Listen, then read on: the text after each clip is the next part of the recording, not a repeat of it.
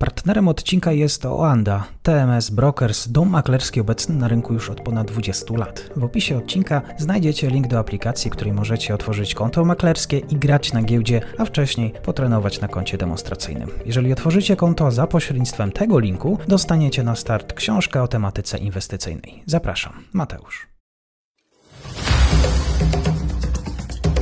Dzień dobry. Nazywam się Mateusz Grzeszczuk, a Podróż bez paszportu to podcast o otaczającym nas świecie. Często bardzo skomplikowanym. Jeżeli chcecie wiedzieć więcej, to nie mogliście lepiej trafić.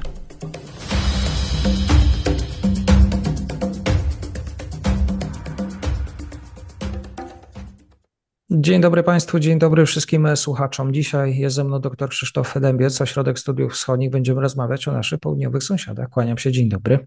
Dzień dobry. Wybory na Słowacji powinny Polaków interesować. Czy to są właściwie wa ważne wybory w kontekście bezpieczeństwa również Europy Środkowo-Wschodniej? Tak, no te, te, te wybory wydaje się, że przyniosą pewną zmianę, jeśli chodzi o politykę zagraniczną Słowacji. Wydaje się, że najbardziej prawdopodobny wariant to jest zwycięstwo Smeru i sformowanie wokół tej partii koalicji rządzącej. Co, co, co to w praktyce oznacza? No, Smer, jeśli popatrzeć na mm, retorykę tej partii w wyborach, a jest to partia z, z wieloletnim e, doświadczeniem władzy na Słowacji, opowiada się za tym, aby mm, naśladować y, w tej swojej polityce wschodniej Budapeszt. To znaczy chodzi o przede wszystkim o ograniczenie mm, do absolutnego minimum wsparcia politycznego, zaprzestanie wsparcia wojskowego jakiegokolwiek, no czy po prostu też y, taką retorykę antyukraińską, prorosyjską, która można powiedzieć tworzy pewną społeczną e, atmosferę w tym kraju. O co toczy się gra dla Ukrainy, jeżeli chodzi o rywalizację słowackich partii politycznych? No tutaj e, trzeba powiedzieć, że my nie do końca wiemy, jak ten lider Smeru, Robert Fico, będzie postępował e, po, po wyborach. No, z jednej strony można oceniać jego retorykę wyborczą, która jest faktycznie skręciła w te rewiry ekstremum y, i konkuruje w tym względzie z partiami antysystemowymi na Słowacji.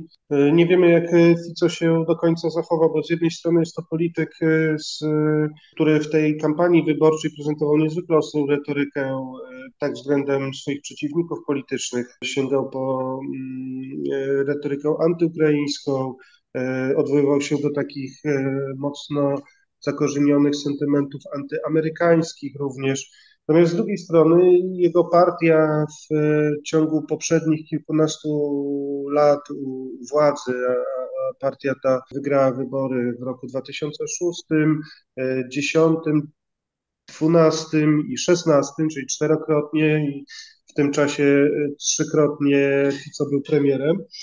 Również wtedy dał się Fico poznać jako polityk, który był jednak w dużej mierze pragmatyczny. Z jednej strony potrafił w 2006 roku wygrać wybory, e, apelując o, obiecując wycofanie się z liberalnych reform e, rządów Mikulasza Zurindy, po czym nie tylko e, z tych reform się nie wycofał, ale teraz chlubi się, że jest politykiem, który wprowadził Słowację do strefy euro czy do, czy do strefy Schengen.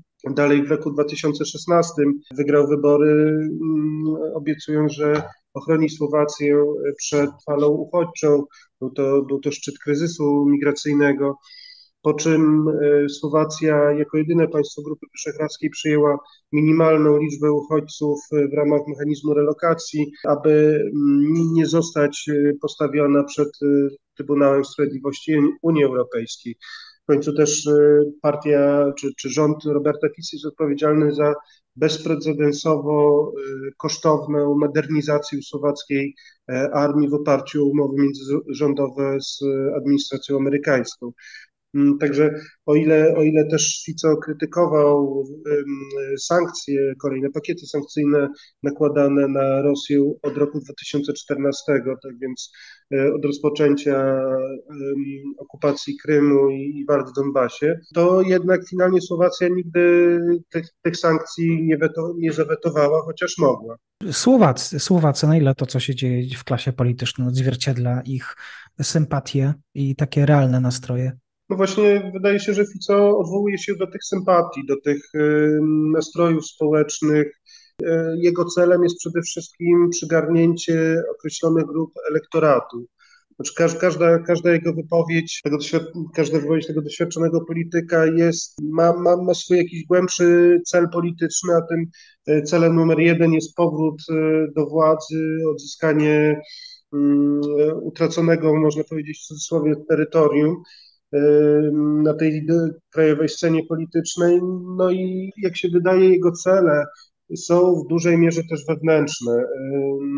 Tutaj e, część słuchaczy być może pamięta, że w roku 2018 Fico odchodził po fali protestów e, za słuszne Słoweńsko, za, za uczciwą czy przyzwoitą Słowację w aurze polityka, który jest e, twarzą systemu, na Słowacji się mówi systemu naszych ludzi, systemu klientelizmu, e, kolesiostwa, e, korupcji, różnych e, niezdrowych powiązań pomiędzy polityką, biznesem i światem przestępczości zorganizowanej. No i wydawało się, że dla niego nie ma już powrotu. Jego partia przegrała wybory w 2020 roku, wcześniej przez wybory prezydenckie, które, które wygrała też będąca twarzą tak zwanej zmiany Zuzana Czaputowa. W jesienią 2020 roku z kolei odeszli od niego czołowi działacze na czele z Peterem Pellegrinim.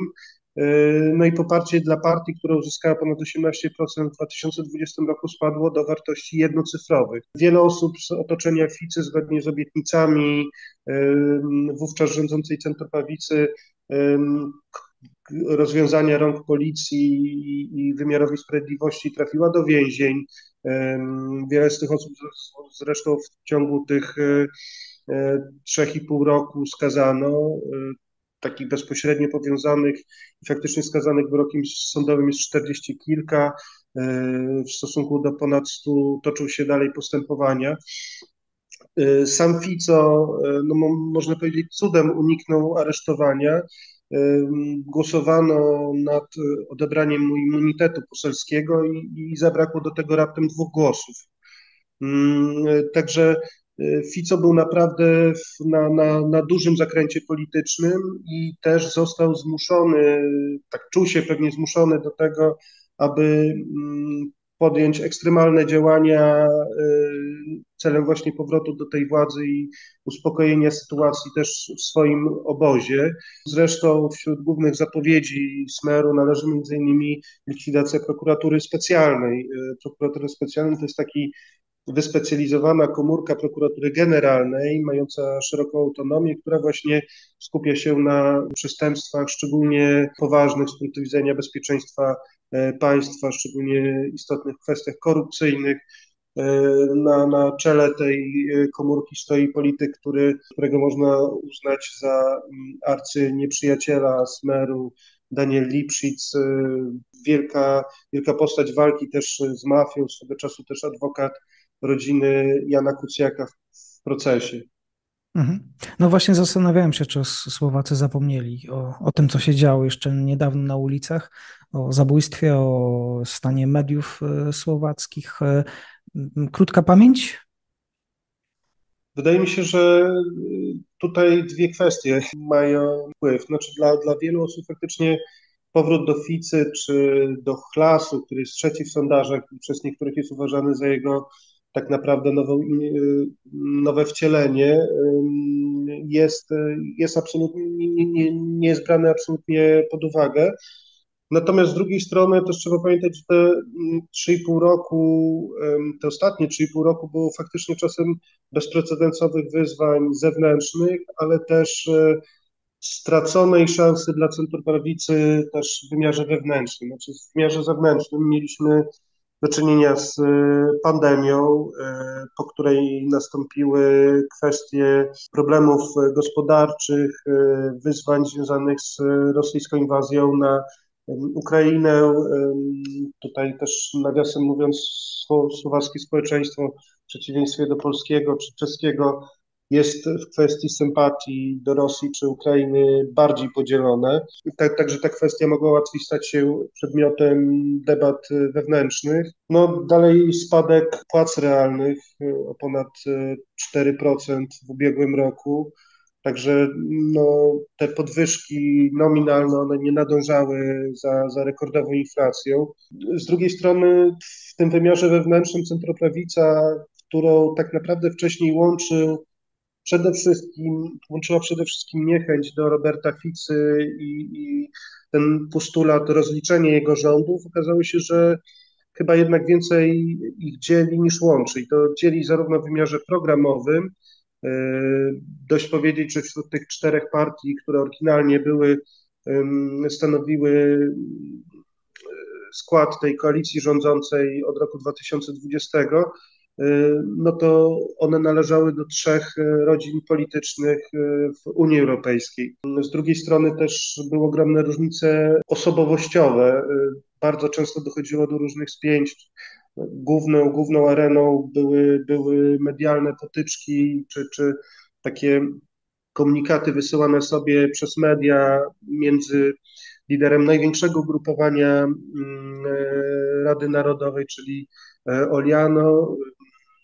Te, te, ten skrót rozwija się jako zwyczajni ludzie i niezależne osobistości Igora Matowicza, a z drugiej strony Wolność i Solidarność, takie ugrupowanie bardziej liberalne, ale paradoksalnie należące do frakcji europejskich konserwatystów i reformatorów ze względu na, na niechęć do e, bliższej integracji europejskiej.